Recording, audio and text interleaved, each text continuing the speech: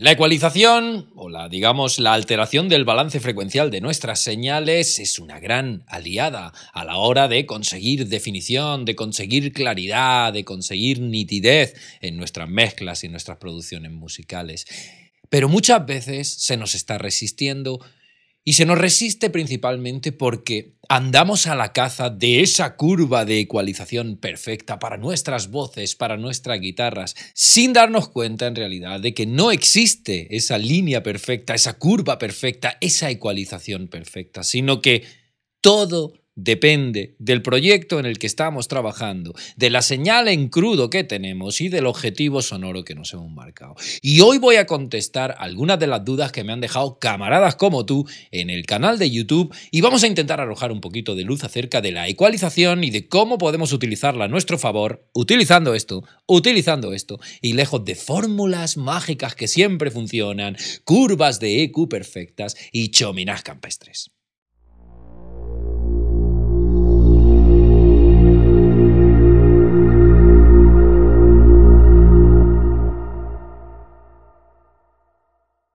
Saludos camarada de produceaudio.net, espero que estés teniendo un día redondo como el planeta rojo. Como te decía en la intro, hoy vamos a hablar de ecualización, hoy vamos a hablar de balance frecuencial, hoy vamos a hablar de claridad, de impacto, hoy vamos a hablar de cómo utilizar la ecualización a nuestro favor. Y lo vamos a hacer contestando, como te decía, algunas de las dudas que me han dejado mis camaradas en el canal de YouTube. Y voy a intentar ayudarles a ellos con sus dudas y también intentar inspirarte a ti con las tuyas y con tu trabajo de ecualización. Porque al final del día, la EQ es una de las herramientas más importantes a nuestro alcance como productores musicales, como ingenieros de mezcla, pero hay que tener muy claro qué es para qué sirve y cómo utilizarlas. Si queremos poder extraer el 100% de los beneficios y del potencial que una herramienta como la ecualización tiene.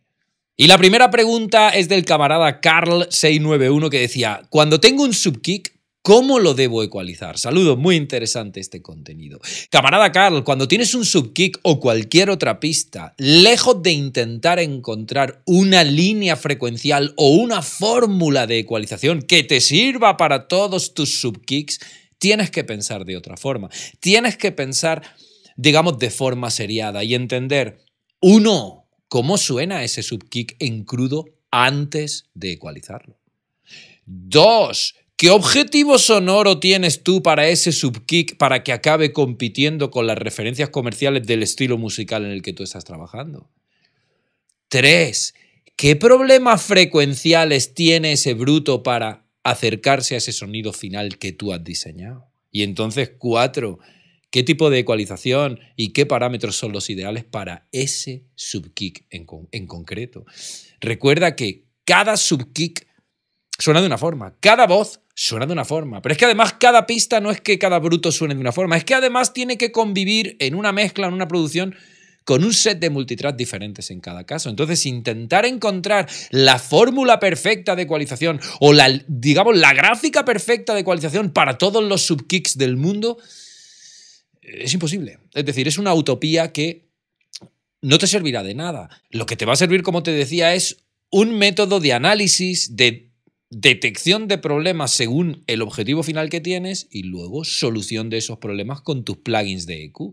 Entonces yo te recomiendo que valores, digamos, esa metodología de intentar entender, uno, cómo suena tu subkick en crudo. Coño, ya suena como el de la referencia, no lo toques. No, no, no, está muy lejos, le falta grave. Busca darle grave con tu EQ. No, parece que tiene un poco de clic de medio agudo que le sobra. Busca quitarle ese clic con tu EQ. Es decir, una vez que tú tienes claro cómo suena ese subkick, cómo debería sonar para competir en, esa, en ese máster final que tú quieres entregar y qué problemas tiene para sonar como tú quieres que suene, ahí es donde está la respuesta a tu pregunta de cómo debes ecualizarlo. Porque vas a encontrarte con subkicks que tengan grave de más y vas a tener probablemente que atenuarlo. Te vas a encontrar también con subkicks que probablemente tengan grave de menos y vas a tener que potenciarlo. Va a haber subkicks que tengan contenido en la zona de entre 80 y 200 que probablemente te sobre y vas a tener que atenuarlo, o que probablemente te falte y vas a tener que potenciarlo. Es decir, no hay una fórmula universal para todos tus subkicks, sino que debe haber una metodología de escucho, analizo, encuentro problemas y entonces aplico soluciones y tomo decisiones según el proyecto en el que estoy trabajando y el bruto que tengo y el objetivo final que me he marcado. De hecho, el camarada Sergio Andrés Baos 281 decía, hola, estoy buscando una EQ para guitarra de cuerdas de acero para el género Gypsy Jazz. ¿Qué ecualización compagina bien para la guitarra líder y la rítmica? La parte rítmica tiene mucho ataque o golpes agresivos y la líder debe tener mucha nitidez. Una vez más, camarada Sergio, más que buscar una EQ para guitarra que funcione siempre, lo que debes hacer es analizar esas dos guitarras en las que tú estás trabajando, analizarlas para entender qué le falta y qué le sobra a cada una para que acaben sonando como tú necesitas que suenen. ¿Cómo sabes qué le falta y qué le sobra a cada una de ellas? Una vez más, analizando referencias comerciales de Gypsy Jazz, en este caso, entendiendo cómo suenan sus guitarras rítmicas y sus guitarras líderes, comparándolas con las tuyas que están en bruto todavía y entendiendo qué problemas tienes que resolver para que acaben sonando como ellas. De hecho, comentas aquí, la parte rítmica tiene mucho ataque o golpes agresivos. Eh, eso es un tema dinámico, más que un tema de ecualización, probablemente si quieres controlar o alterar esos golpes agresivos, ese ataque, vas a tener que tirar de compresores, no de ecualizadores. Y por otro lado, la líder debe tener mucha nitidez, pues probablemente la parte donde Está la nitidez de las guitarras, es de 1000, 1500 hacia arriba, con un shelving levantando ahí, probablemente vas a ganar nitidez, pero antes de poner un shelving y tirar para arriba, tendrás que entender si tu guitarra en bruto, tu guitarra líder, ya tiene la nitidez que necesita. Porque ese es el primer paso. Como hablábamos con Carl hace un momento, tú deberías analizar cómo suena esa guitarra líder en crudo y cómo tiene que acabar sonando para competir en ese intervalo con las referencias comerciales con las que tú quieres competir. ¿Le falta nitidez? Shelvin para arriba a partir de 1000, 1500 o a partir de 5000, prueba a subir un poco. ¿Ya la tiene la nitidez que necesita? No toques nada.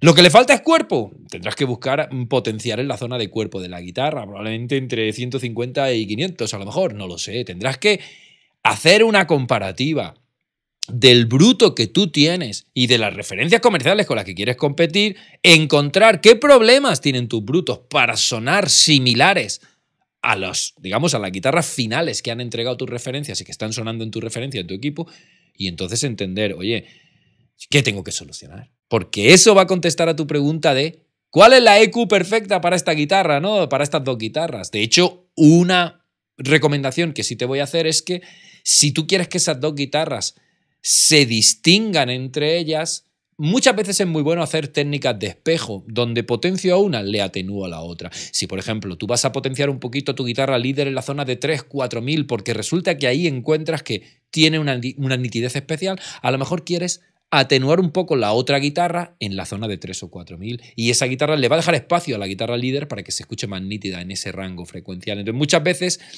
las técnicas de espejo, de donde potencio a una, le atenúo un poco a la otra, hace que las pistas ganen separación y claridad y se distingan mejor entre ellas. Pero una vez más, eh, de nada sirve aplicar una técnica de espejo como un pollo sin cabeza sin antes haber hecho ese análisis de cómo suenan mis guitarras en crudo y cómo tienen que acabar sonando para competir en ese estilo gypsy jazz, en este caso, en el que tú estás trabajando. Así que, como le dije a Carl, Sergio, más que buscar una EQ para guitarra de, cuerda de, cuerdas de acero que funcione siempre, yo te recomiendo que empieces a trabajar con un, digamos, con mente y con escucha analítica. Y que recorras el itinerario de análisis, detección de problemas y entonces solución de esos problemas con tus plugins de EQ si es que el problema es frecuencial. Si el problema es ataque, golpes agresivos y problema dinámico, probablemente un compresor te va a ayudar más. En todo caso, no hay una fórmula perfecta para ecualizar dos guitarras de cuerdas de acero. Esta y esta es la combinación de tu fórmula perfecta. Y esta y esta son las que te van a dar la respuesta que tú estás buscando. De hecho, DJS Jare nos dejaba también una pregunta relacionada con, con, el EQ Match. Decía, hola amigo, ¿qué opinas del EQ Match? O sea, copiar la ecualización de un tema de referencia crees que funciona. El, EQ Match, el, matching de ecualización, se utiliza mucho eh, en el mastering o incluso en el master boost cuando estás terminando tu mezcla. ¿Cómo funciona? Muy sencillo. Yo pongo una referencia al mismo volumen que mi mezcla, capturo su imagen, digamos, su gráfica frecuencial, es decir, sus contenidos frecuenciales de 20 a 20.000, y luego intento aplicar esa línea a mi mezcla como te digo, se utiliza mucho también en sesiones de mastering. Yo tengo una mezcla final, tengo una referencia, capturo la imagen frecuencial de esa referencia e intento aplicarla en mi mezcla. ¿Crees que funciona? Me pregunta DJ S. Jare. A ver, funcionar funciona. Lógicamente, para eso se han inventado esos plugins y esos capturadores de imagen para que tú puedas eh, analizar a nivel frecuencial una referencia y aplicar parte de esa línea. De hecho, yo lo he utilizado, en, algunos casos lo he tenido que utilizar. Mm, yo no soy muy partidario eh, a priori de utilizarlo porque normalmente yo tengo acceso a, las mezclas en las que trabajo. Entonces, si yo estoy en una sesión de mastering y resulta que veo que una referencia eh, tiene mucho más grave de lo que tiene mi mezcla, en vez de intentar hacer un EQ matching y que un plugin le suba el grave a mi master, yo lo que hago es que me vuelvo a mi mezcla, subo el grave, plancho una mezcla, o sea, plancho una nueva mezcla y me la llevo a la sesión de mastering. Entonces yo como suelo tener control independiente de las multitracks de mis proyectos, normalmente cuando yo estoy produciendo una obra y paso de la mezcla al mastering, pero puedo acceder a la mezcla, yo no utilizo el EQ Matching. Pero es verdad que si a mí me manda un cliente un master final, un estéreo final, del que yo no tengo eh, multitracks, al que no tengo acceso a la mezcla porque ni siquiera él lo tiene, y simplemente me pide un servicio de mastering de un tema en estéreo que ya no se puede recuperar a nivel de mezcla, pues si necesito hacerlo, lo haré. Eso sí, camarada DJ S. Jare, una recomendación que te voy a hacer. Tú sabes que esos plugins que hacen ese tipo de captura frecuencial y luego lo aplican tienen un nivel de porcentaje. Es decir, tú puedes aplicar esa curva a tu máster o a tu mezcla en un 1%, en un 10%, en un 50% o en un 100%. Yo te recomiendo que seas ultra conservador y que tus porcentajes no superen el 5, el 10% del total. ¿Para qué? Para que solo se aplique un poquito de esa curva a tu máster, a la curva de tu mezcla o de tu máster. De hecho, pruébalo. Si lo haces al 100%, verás que va a destrozar tu mezcla. De repente de jolín, yo analizo una referencia comercial que suena de cine, capturo esa línea, la aplico a mi máster y cuando lo pongo al 100% me destroza el máster, lógicamente yo te recomiendo que seas muy, muy conservador. ¿Por qué? Porque al final del día es muy difícil que tú consigas un máster que tiene el mismo contenido frecuencial que cualquiera de tus referencias, porque la instrumentación suele ser parecida pero no igual, porque los balances de mezcla pueden ser parecidos pero no iguales. Entonces, el intentar tener una línea frecuencial exactamente igual que una de tus referencias es un sinsentido. Realmente tú lo que quieres es que tu mezcla tenga una línea frecuencial que le permite competir bien, traducir bien y sonar bien. Entonces, yo no te digo que no utilices el EQ Matching. Te digo que si lo utilizas, lo hagas con mucha mesura y con mucha prudencia, porque dar una pinceladita puede ayudarte, pero si te pasas con el porcentaje vas a arruinar tu trabajo.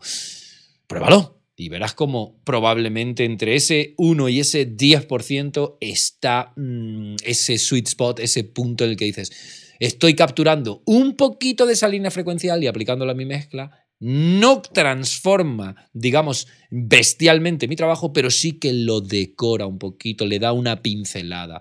Yo te recomiendo que, lo, que si lo utilizas lo hagas así.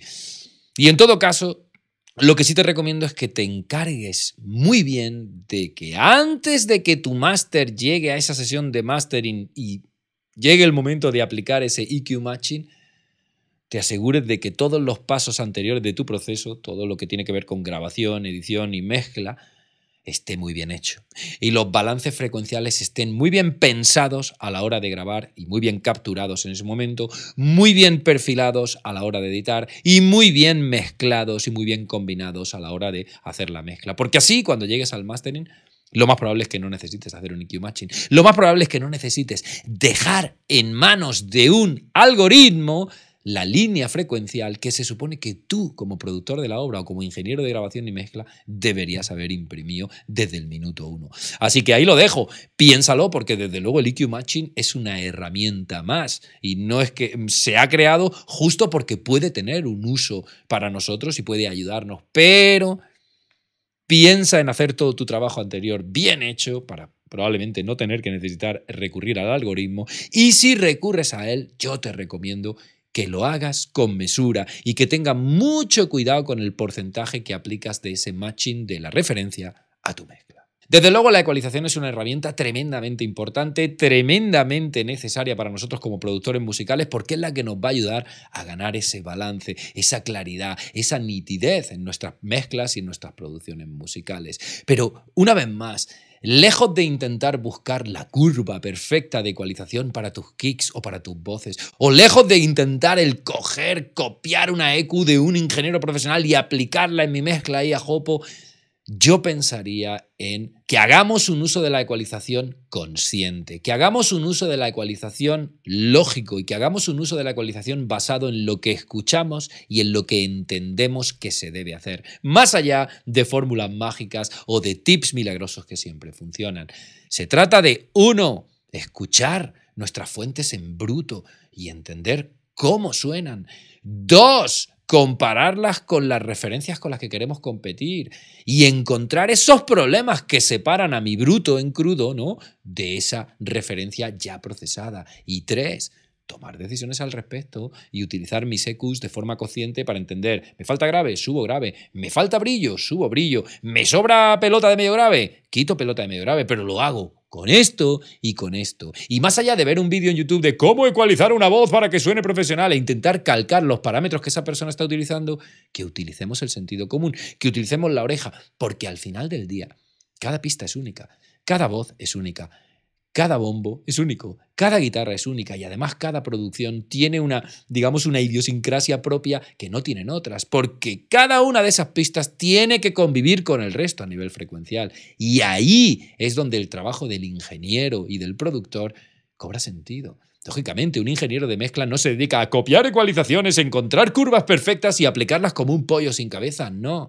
Un ingeniero profesional se dedica a escuchar, detectar problemas y aplicar soluciones con sus plugins y sus herramientas. Y eso es lo que yo te recomiendo que empieces a valorar a partir de hoy si no lo estás haciendo. De hecho, antes de concluir el vídeo, camarada, si tú también tienes dudas, si tú también tienes lagunas, si tú también tienes preguntas sin contestar o simplemente necesitas ayuda con tu música y quieres apoyarte en una comunidad de creativos y de productores musicales como tú, gente de distinta procedencia y de distinto nivel, pero que están en la misma pelea que tú estás, hoy tienes la oportunidad perfecta, sin duda, porque la zona VIP, que es mi comunidad privada de coaching para productores y creativos de habla hispana abre puertas durante unos días a nuevas inscripciones para celebrar nuestro primer aniversario. De hecho, es una comunidad diseñada como una especie de red social, pero donde solo se comparte información de valor sobre producción musical y donde no hay spam, donde no hay trolls y donde no hay gilipolleces de ningún tipo.